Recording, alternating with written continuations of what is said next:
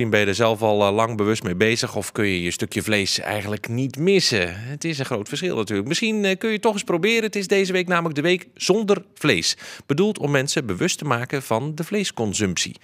Alternatieven voor vlees maken ze bijvoorbeeld bij Schouten in Giezen. En daar is ook Floyd Ane. Floyd, eh, wat zijn dat? Eh, eh, schnitzels Ja. die geen vlees bevatten, dat soort zaken? Ja, inderdaad. dat gaat dan om dierlijke eiwitten. Hè. Dit zijn allemaal producten met plantaardige eiwitten. Er wordt even een hamburgertje in de pan gelegd al. Want natuurlijk wel benieuwd hoe dat ruikt en hoe dat smaakt en hoe dat dan uiteindelijk eruit ziet. Jij bent van eh, Schouten en jij hebt eigenlijk ja, daar, daar iets op gevonden... waardoor dierlijke eiwitten niet meer nodig zijn. Ja, dat klopt. Ja, goed, eh, het is goed om wat minder eh, vlees te eten. Vooral in deze week, omdat het de week zonder vlees is. En dus deze week speciaal aandacht om, om, pla- om plantaardig te eten. Ja. Ehm, ja, een voorbeeld van hoe je dan een paar ingrediënten die we verwerken in onze producten. Dus bijvoorbeeld rode linzen of kikkererwten, eh, groene linzen. En dit is eigenlijk meer een- een product eh, op basis van soja. Ja. Ja, het, is, het, is, het ziet er prachtig uit, allerlei kleurtjes. En het is rond of, eh, of plat. En het ruikt ook nog wel afzonderlijk van elkaar. Maar dit is dus eigenlijk wat je verwerkt en dan vlees eh, van maakt. Nou ja, het is, het, is, het is geen vlees, maar het lijkt daarop. Ja, Verwerkt dit tot vlees? ja. Nou ja, goed. eh, Het lijkt wel op vlees. het lijkt op vlees, ja. Noem het dan vlees. Nou, het is geen vlees. Nee. Ja, oké, dat, is een beetje, dat is een beetje vreemd, want het lijkt erop, maar het is geen vlees. Hoe moet ik het dan noemen? Eh, een vleesvervanger of eh, vegetarische producten. Ja. ja. En Wat is daar zoveel beter aan dan gewoon dierlijk vlees? Gewoon eh, een biefstuk van de koei? Nou goed, door het vlees eten, dat, dat heeft wel eens een impact op, op onze omgeving, op de wereld.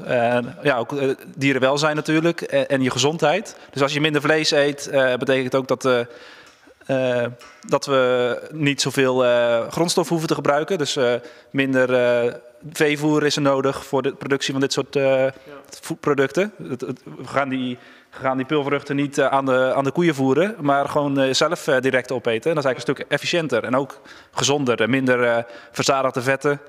Eh, dus dat, er, zijn, ja, er zijn best wel, best wel wat voordelen om minder vlees te eten. Ja. Goede mix is belangrijk, heb ik altijd geleerd van, eh, van, van allebei de dingen. Even terug naar eh, de man die, eh, die het product kent. Even kijken, even ruiken. Ja, hij ruikt misschien hetzelfde als een, eh, als een hamburger. Het is het niet. Ehm, voor de consument ook heel makkelijk te bakken in de pan. Laag, laag vuurtje, beetje olie. En ehm, ja, drie tot vijf minuten dan is het gerecht eh, toch wel klaar. Drie tot vijf minuten, dus we kunnen nog een plaat draaien. Ik ga even het eh, pannetje in beeld brengen. Hamburgertjes, die linker, die ziet er wat eh, anders uit. Maar een paar gehaktballetjes, even zo. Een linzenburgertje, dat gaat allemaal doormaten. Lekker bakken en braden en smullen.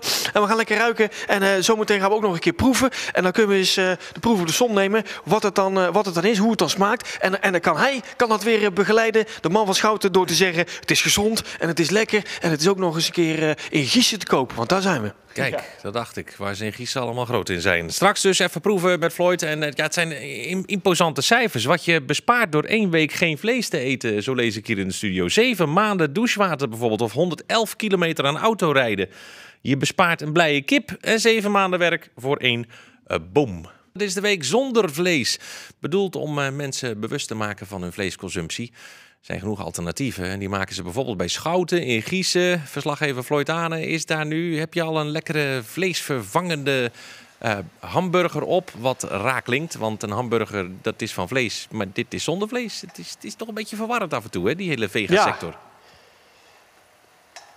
nou ja, verwarrend. Het is ook maar net hoe je het bekijkt natuurlijk. We zijn het allemaal gewend, hè? al dat vlees. Ik bedoel, het is gewoon even anders denken. En, en, dan kom je er vanzelf. Ik ga zo meteen even iets proeven. Ik ben inderdaad bij Schouten in Gießen, in het pittoreske Gießen. En dit zit er dus in. En ik wijs nu naar een bordje met allerlei kleuren... met plantaardige eh, eh, voedingsstoffen, eiwitten, erwten en, en, en, en linzen... en allerlei eh, kleurrijke spullen die dus in het vlees zitten. Even omhoog houden, want het heeft op, de, ja, op het staan, dit. En ik ga hier iets van proeven. Wat ga ik proeven eigenlijk? Eh, de hamburger. De hamburger. En dat is dan eigenlijk een, een, een vleesvervanger, een vegetarische Ja, hamburger. Noemen we, het ook een die ham- op een, eh, een groene plank liggen. Noemen we het wel een hamburger? Eh, ja, het moet een herkenbaar product zijn. Nee, maar ik bedoel, het is geen ham natuurlijk. Nee, maar een hamburger is herkenbaar vanwege de vorm. Ja, vanwege de vorm. Een, ronde, een rond stukje vlees. Nou, als u dan een stukje zou willen proeven. Een stukje proeven. Ik haal even het proefje, proefje omhoog. Gaan we hier onderdoor? Ja.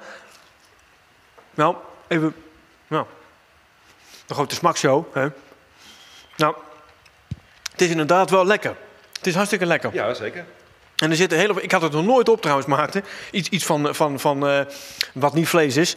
Maar het is hartstikke lekker. En het, het, het, het proeft ook nog wel een beetje naar vlees. Ja, dat, eh, dat moet ook. Er is goed over nagedacht. Het is wel minder vet. Minder vet, ja, maar dan ook gezonder. Ja. Gezonder, ja, is dat gewoon een, een stelling die je zo eh, kan, kan, kan poneren? Het is gewoon gezonder? Het is gezonder, 100%. Ja. 100%. Nou ja, het is hartstikke lekker. Misschien zometeen nog even een linzenburger. Dat klinkt dan weer wat enger, maar dat is ook even lekker, hè? Eh, natuurlijk, smaken verschillen. Als u graag de, de linzenburger wil proberen, dan... eh, Gaan we zo meteen nog even proberen. Ik, ik hou het nu even bij eh, de hamburger. Even dan nog naar eh, de kenner. Eh, wat dat betreft, eh, ehm, over 30 jaar, hoe, staan we er dan voor met, met de vleesvervanger? Ik bedoel, want ik denk dat ik over 30 jaar toch nog wel een lekker biefstukje eet ook. Nou ja, goed, ik denk dat die, die producten nog steeds beter worden. Mijn pa is eigenlijk in 1990, eh, bijna 25 jaar terug, is hij daarmee begonnen. Eh, en ja, in die tijd is er ook een enorme ontwikkeling geweest. Eh 30 jaar terug was er nog geen, geen eh, was dat schapper, was dat er nog niet eens. En, nu- en nu is het ook al een stuk gewoner om, om een aantal dagen in de week geen vlees te eten. Ja. En ik verwacht gewoon dat die producten nog steeds nog, nog veel beter worden. En over 30 jaar, kijk, als het qua smaak en beleving hetzelfde is, wat maakt het dan nog uit of er een, een, een dood dier of een, een- plant op je bord ligt? Ja, en dan eh, de hamvraag natuurlijk, Maarten. Eet je zelf ook vlees? Ik eet zelf ook vlees, ja.